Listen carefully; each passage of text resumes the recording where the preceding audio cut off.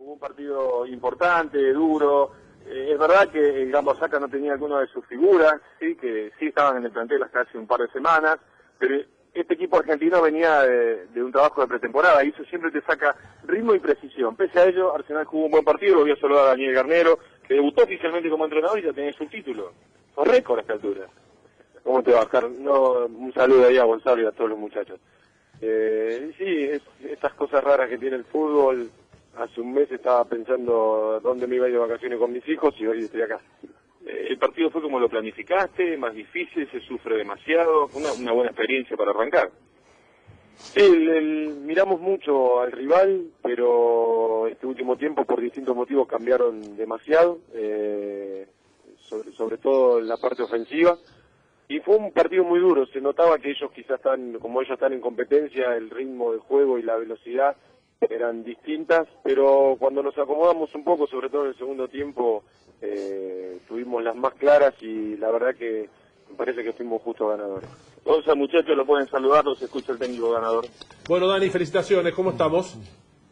¿Cómo te va, Gonzalo? Muy bien, gracias a Dios. Bueno, bueno, eh, muchos, muchos técnicos en tiempo de preparación suelen destacar eh, que prefieren por ahí no irse de gira, que prefieren trabajar en, su lugar de concentración, en la pretemporada, meterse más en esto, no, no, no, no, no generar este tipo de historia, mucho menos viajar a Japón.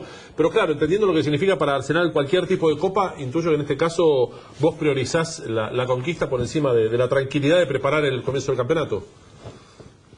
Sí, sin duda. desde el primer momento me hicieron saber que era muy importante este viaje a Japón. Eh, es algo soñado para la gente de Arsenal. Y bueno, así fue la planificación, tuvimos que modificar un poco la pretemporada por, por el tema de la lluvia en Mar de Plata y volvernos a Buenos Aires, eh, el, equipo necesitaba hacer fútbol, es más, todavía lo sigue necesitando. Este partido no vino bien, fue el primer partido que hicimos 90 minutos, habíamos hecho dos amistosos con Defensa y Justicia y Taller de Remedio Escalada. Eh, el tema del viaje no deja de ser una complicación, mucho trastorno en el cambio horario, eh, la temperatura, hoy jugamos con 31 grados de calor, o sea que se dieron un montón de cosas, pero los muchachos dan muestra una vez más de, la entereza, de, los grandes profesionales que son y, y que ante esas adversidades siempre tienen un poquito más, ¿no? Y eso es muy, muy importante. Hola Dani, ¿cómo te va? Pablo González hoy. Te felicito y te pregunto lo siguiente. ¿Cuántos técnicos conocés vos que en su debut oficial como técnico salgan campeones? ¿Cómo te va, Pablo? No, la verdad que no, no, en un partido muy raro lo que cómo se dio. Sinceramente, hoy hablábamos respecto de eso y la realidad dice que cuando llegas a un torneo como un torneo internacional de estas características, de un solo partido, ¿por qué lograste algo? Y por lo general le dirige el, entrenador que lo logró, eso es la realidad. Y bueno, acá se dio una particularidad, me tocó a mí, realmente sabía que iba a ser una exigencia muy grande, eh, era un compromiso muy importante para el club, para mí, para todo mi cuerpo técnico y eh, lo asumimos de tal manera y gracias a Dios las cosas salieron bien. ¿Qué tiene este grupo que es ganador, Daniel? Me parece que tiene las cosas muy en claro, tiene una personalidad muy fuerte eh, y tiene una estructura muy sólida.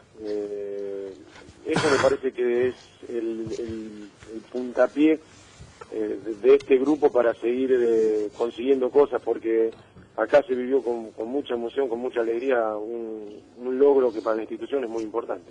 Dani Alejandro Soy, ¿cómo va? Quiero preguntarte eh, si es verdad que se podían hacer seis cambios por equipo y si eso lo tuviste en tu cabeza o planteaste la cosa como si fuera un partido tradicional con tres cambios por cada lado.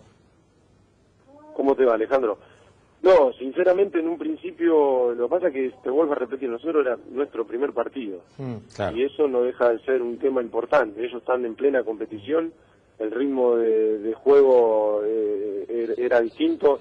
Cuando me dijeron de, que se podía proponer eso, estuve recontento. Mm. También el tema de que no haya largue por si llegaba a haber penales, nosotros ese tipo de cosas y ya te digo, no solo con el cambio horario, hoy hizo 31 grados, casi 70% de humedad, el, clima fue realmente muy adverso para nosotros y por eso te digo lo de la personalidad, lo de la entereza, se cometieron errores, eh, quizás debemos corregir sobre todo muchas cosas, pero eh, el equipo te demuestra que va, que, que, tiene lo que tiene que tener un equipo para, para pelear cosas importantes y eso me deja tranquilo. Te pido dos palabras de la actuación de Facundo Saba.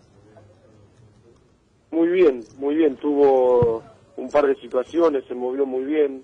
Eh, es verdad que él eh, se incorporó a la pretemporada un poco después, entonces los trabajos intensos lo hizo hace muy poco, eh, no está todavía con el ritmo ideal, con esto de la temperatura y, y la falta de ritmo a lo último lo sintió, pero hizo lo máximo y para eso había muchos muchachos afuera esperando tener la oportunidad como le tocó a Facundo Coria y también entró, lo hizo muy bien, así que eh, esperamos que el Colo se vaya agarrando ritmo, que vaya incorporándose aún más como, como lo está haciendo en el funcionamiento del equipo y estoy muy muy seguro y muy tranquilo de que, que va a tener una gran actuación acá en Arsenal porque se incorporó muy bien al grupo y es un, tiene una característica de juego que le va a venir muy bien a plantel.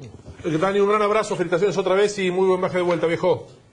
Muchísimas gracias, Gonzalo. Un abrazo grande para todos. Gracias a Daniel Garnero, gracias a Oscar Martínez también allí en Osaka.